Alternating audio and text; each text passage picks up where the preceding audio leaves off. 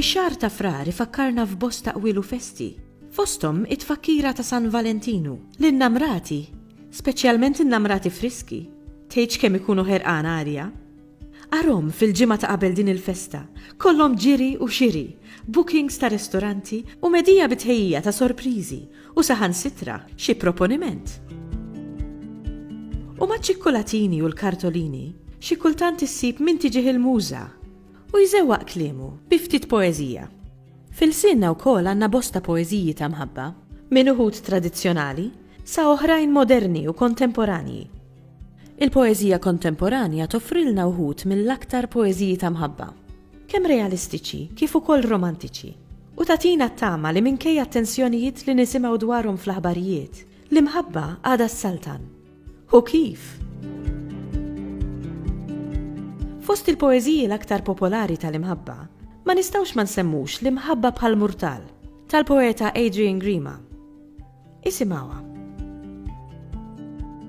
L-imħabba bħal murtal.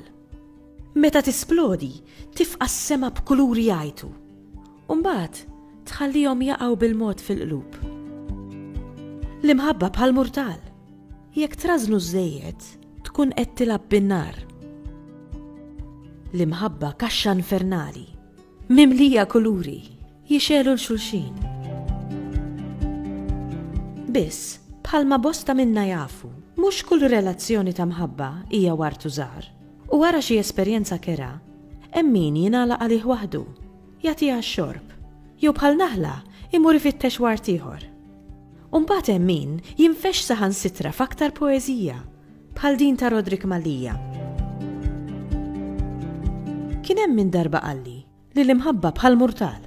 Li meta jfaqqa' fl-ajru taqa' xi ta' stilel żgħar. U veru kos, kultant hekk ngħid, l-imħabba bħal murtal. Li jagħmel ħafna storbju u jifgak bid-duħħan.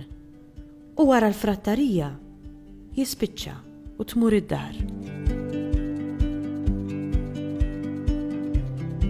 Imma f'da żmien ta' awguri sbieħ ta' bews u ta' tanniq, Ta' min nagħlqu b'poeżija b'ton aktar romantiku?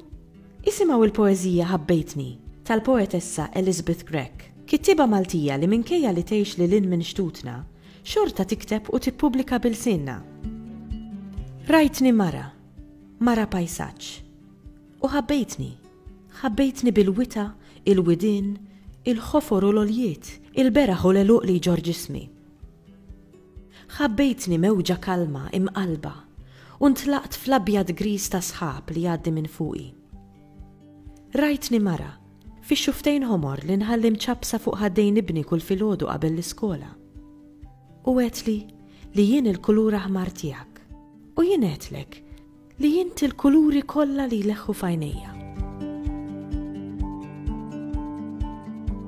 Għall-poeżija ta' mħabba m'hemmx għalfejn nistennew jum San Valentin. Imma min irid xi poeżija għal din l-okkażjoni speċjali, għandu bosta mnejn jagħżel b'ilsienna.